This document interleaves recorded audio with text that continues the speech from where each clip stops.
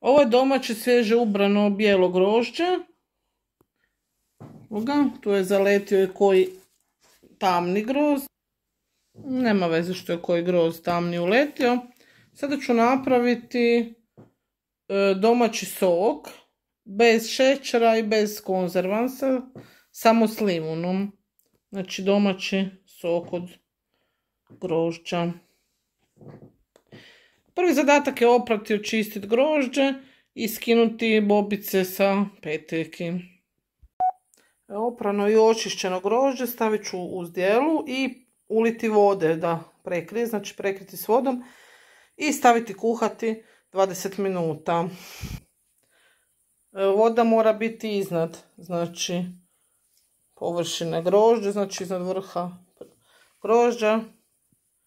Sada stavljam kuha 20 minuta. Evo ga, kuha se 20 minuta, sada ću još malo usitniti sa štapnim mikserom. Evo ga, sada se količina smanjila kad smo procijedili, sada je baš jako bistro.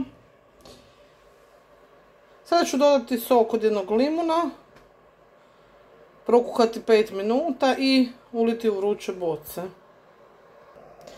Dodala sam limun, a dodat ću još i naranče i grejpa, sok od naranče i grejpa, jer su sve to prirodni sokovi. Evo ga, sok sam ulila u boce, znači kuhao se 5 minuta, još ulila sam u boce. Dobila sam 2,5 litre čistog soka, bez šećera i konzervansa. Znači vruć sok u vruće tegle, kako to već ide.